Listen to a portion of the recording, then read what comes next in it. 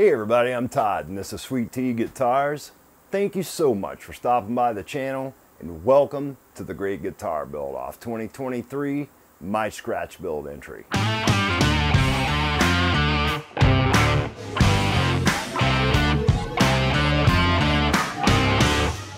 Alright you guys, we left off in the last video for the Ceres Theta. This is the state we were in right here. I had just put the headstock cap on it I've got that white, black, white line. Let me hide my eyes. I think that is really cool. A few of you guys had mentioned that you really like my neck transition carve right there. I really appreciate that because I worked really hard to get that super fluid and smooth. And I'm glad some of you guys noticed um, how much time and how important I think that is right there. It is literally a seamless transition. We need to get our tuners drilled in. I need to get this headstock sanded, final sanded up to 320. Let's get to work on this thing. We're gonna take some 180 grit sandpaper I've got on this hard block right here. And we're just gonna start sanding this thing. Um, we're pretty good on the front here, but I do have a plan for this thing that I wanna try that I saw on a Ben Crowe video not too long ago. Now, it wasn't something he did. It was something that was done on a guitar he had brought into the shop. The way they had the tuners done was the bushings for the tuners were actually recessed into the headstock cap. I thought that was a really cool look. That's one of the reasons I glued a headstock cap on. My headstock is now a little thicker than it has to be. We're sitting at about 18 millimeters thick, but for now, I know this headstock needs sanding. So let's just continue on. I've got a line drawn already where the backside of my nut's gonna need to be. Here's my nut right here, Cosmo Black Floyd Rose nut. Black screws. I've got stainless steel screws to replace those. I think that's gonna look pretty cool. I want to get this lined up just like I want it. And then we'll mark off the sides. I'm two and a half millimeters too high in the center. That's gonna be about perfect when I shave this down pretty much flat. I don't care that it has a little bit of back tilt, but I want to be able to meet my fretboard flush with the front edge of this nut right here. So I'm gonna have to really pay attention to that so I don't mess up my intonation or my scale length by grinding too much on the this side of my fretboard. All right, you guys, I gotta thin this headstock out about three millimeters. So we're gonna grind on this thing for a minute with the Shinto.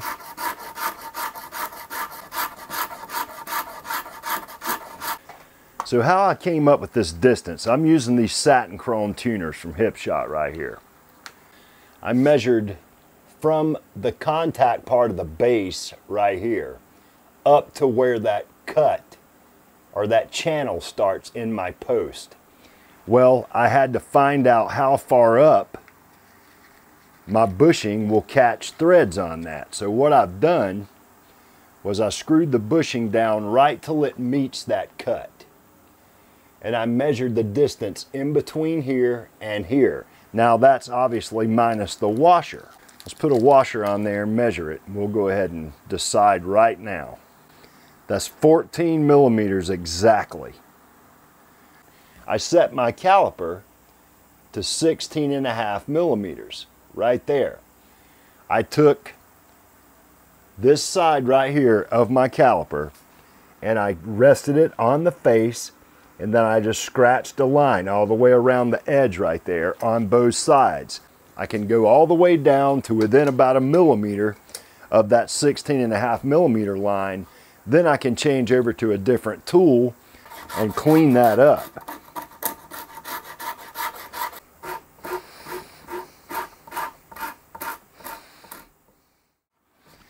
All right, we're gonna call that good right there and I'm gonna switch over to the medium cut Iwasaki which is going to clean this right up and flatten it right out.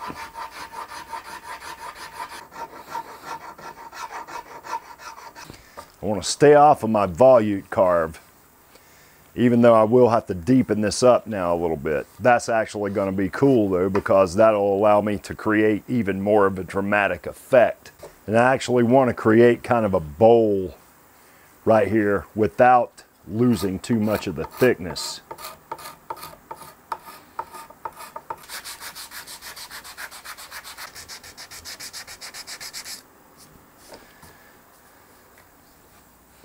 Now we're talking. What I want to do now is figure out a new center line on the headstock since we put this cap on and since I removed all that material from the back last night. I know that I want a 43 millimeter nut width. So we're going to line this up at 21 and a half millimeters, which is what the size of my fretboard is on that end. And I will put myself a center mark right there. I'm going to take a ruler so I want to make sure I'm on that line and on my center line back here at the bottom of the body. And just make myself a center line. That's perfect. I'm going to use my headstock template to just make a mark where I want these things.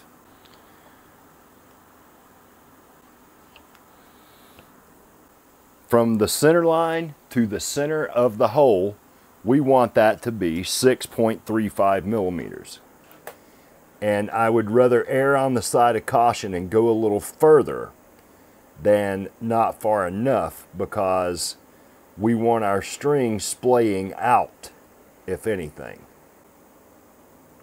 There we go. We'll move down to this one, which is 16 and a half millimeters offset from this tuner. Our second tuners are 14.15. Come down to this one. Now we want to be at 21.95.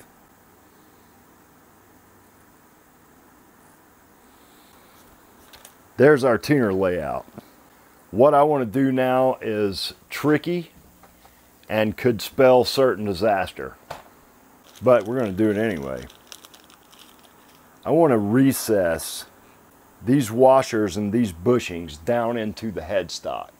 So I need a bit that's going to cover the outside diameter of this washer. 15. And then as far as depth goes, we need to measure that as well.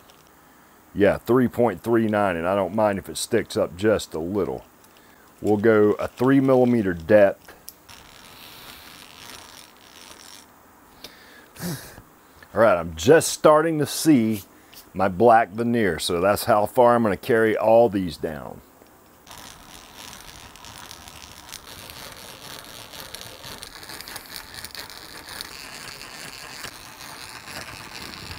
Let's drill ourselves a pilot hole down through these center points left by our Forstner bit.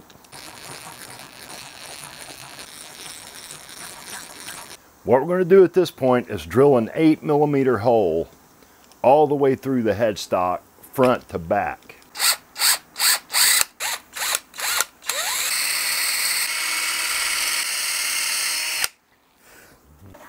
I want to file these out just a little. I don't want them so tight that if this guitar ends up in a damper environment, I wouldn't want these to get swelled so tight in there that you couldn't get them out.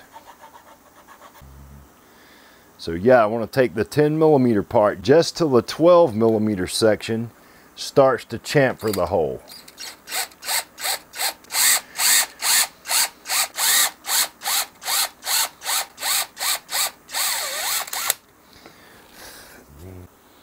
Oh yeah, these are the perfect tuners for this headstock. All right, you guys, so here we go. I got my tuner bushing and washer holes recessed down in the headstock. It's not completely cleaned up yet, but I think this is really going to look cool. What I want to do right now is thin this out a little bit and get my nut shelf cut. We'll draw a couple of lines on the outside of this thing. There we go. So what I want to do without nicking my fretboard I want to file myself a shelf in here.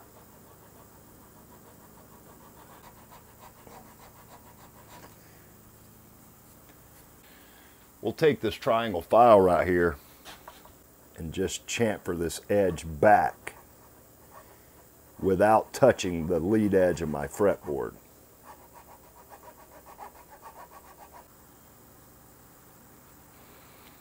All right, you guys, I think we're gonna leave it just like that. That is really, really good. Now what we can do is start to shape on this, but we need to draw our lines back in there once again.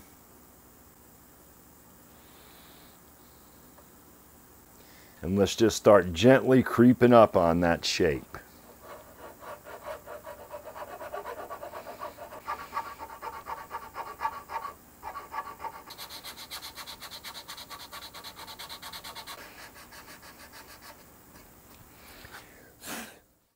I've got my guitar in the vise with some cork wrapped around it so I don't mark it all up. Let's just get going on this thing. Oh, I wanted to let you guys know I've added some Tornelli t-shirts to the Sweet T merch store. So if you guys want to grab yourself one, I got them priced bare bones. I've redesigned a few of the Sweet T tees on there as well. I've added a collaboration t-shirt, actually two collaboration t-shirts I added those just to kind of commemorate my collaborations that I've been doing with Geo. So let's get sanding, you guys. I'm excited about this. We're getting really close now. This is 180 grit right here. And once I get the neck taken care of, we'll switch over and get the guitar sanded up to 320 grit. I mean, I've spent like um, you know, quite a few hours already sanding on this thing. If I try to eliminate as many sharp corners as I can, that will help me when it comes time to polish this thing. I don't have to worry quite as much about sanding through. I find that passion has so much more to do with it than even skill because the skills will come. If you continue to do this, you will gain the skills but you can't let yourself lose your passion. Mistakes don't bother me because I know I can figure out a way around most things that sometimes ends up better than the original plan. I mean, that's what it's all about, you guys, is learning. Let's run the light over the surface of the neck and find out if we've got any little imperfections or whatever. It looks really good. Let's hit the edge of the fretboard.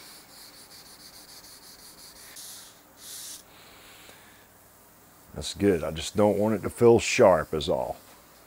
I want to mark out my two screw holes for my locking nut. I'm going to mount this from the top, not through the neck because I got a volute.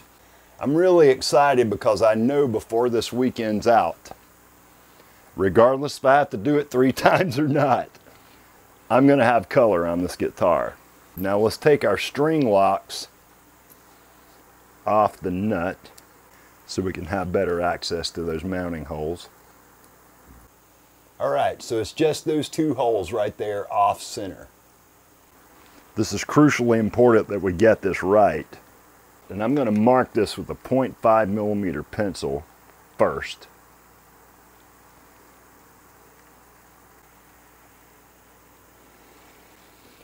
Just enough so we can double check ourselves. All right, punch those in just a little deeper. Let's measure the diameter on these screws. 3.08 inside of the threads we're at two and a half. So I'm gonna drill a two millimeter hole right there. That should give us a good bite. And I would not usually use tape to mark a depth, but we've only got two holes and it's a small drill bit, so we'll be fine.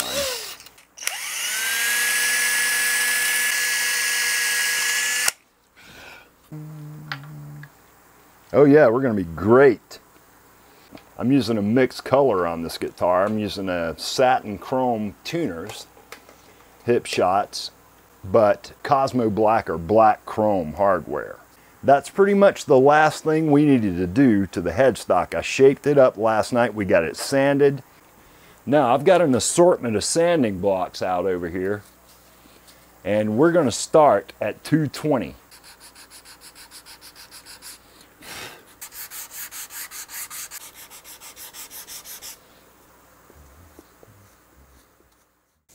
We're getting ready to tape this guitar up and get some color put on this thing. I am so excited about this. I have been downright giddy over this, you guys. I am going to grab myself a stool and I'm going to tape up the top of this guitar so we can seal up these bevels.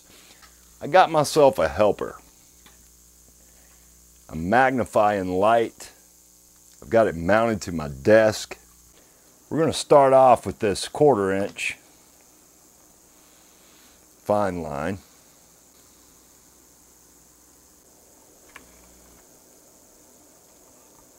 So what we're going to use is Simtech Easy Sanding Sealer that takes um, MEKP catalyst. Let's stir this up away from the guitar. I don't feel any solids in the bottom. And I only want about two ounces of this stuff, if even.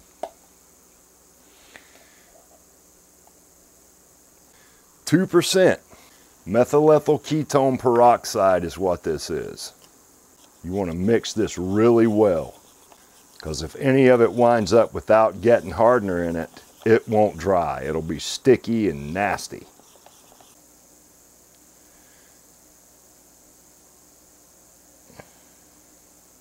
I'm not worried about getting it on the sides. We're going to sand all this and the sides are going to get sealer anyway. I want to be careful not to leave any huge brush marks in the surface.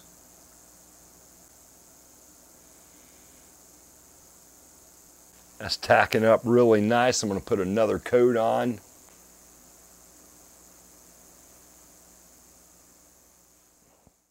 I'm going to pull this tape off and see if we've got a clean line. I think we do.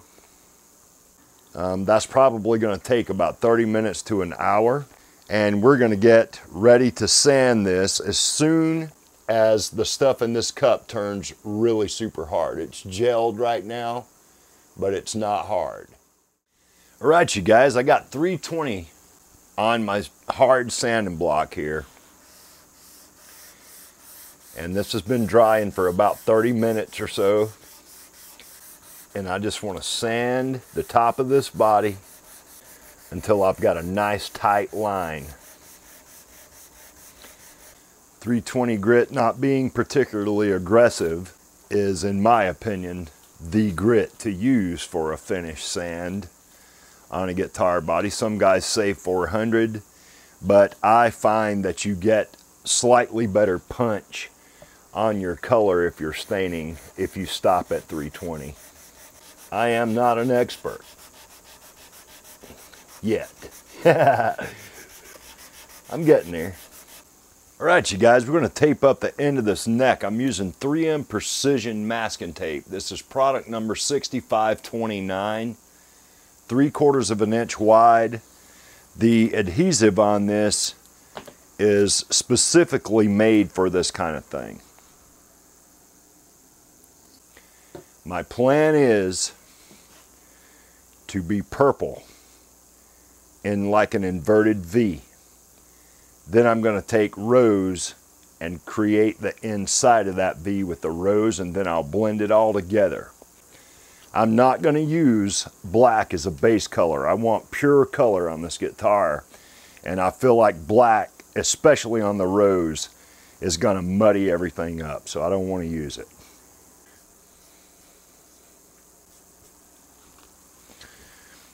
So kind of like that. You can kind of see it gets brassy and that's just the nature of purple. But we're going to rub all this back, so I'm not concerned about that. We're going to rub it back with steel wool. Rose. I'm going to need a much, much darker red than this. I got to get some real red out here. I don't want too much of this and I want this blended with the purple just right in that area. I want to keep it rose as much as possible.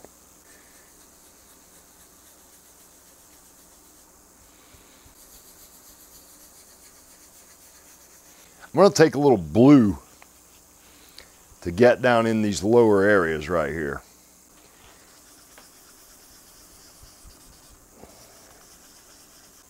This is doing it right here, you guys. I was actually wanting a more of a violet color than um, like a grape purple. Sucking the red into the blues, making sure that we keep this violet. I like that.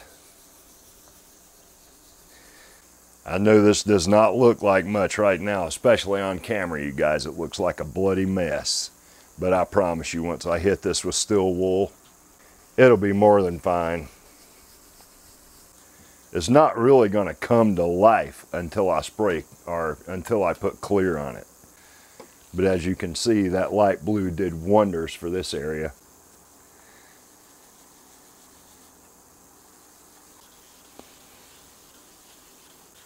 purple tiger. I don't know how well you'll be able to see that, but getting ready at this point to do one final blend on this with that light blue and we're going to call it.